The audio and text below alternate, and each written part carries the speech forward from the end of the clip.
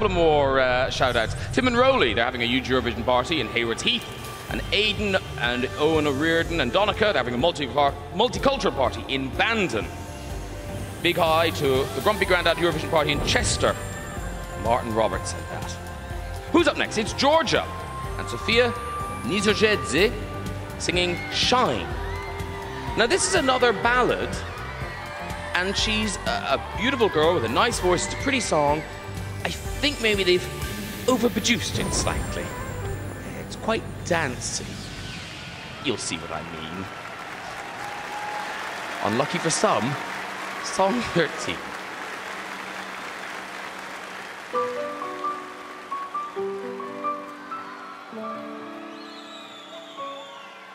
Who can never tell the color and the memories we keep from long ago. Do we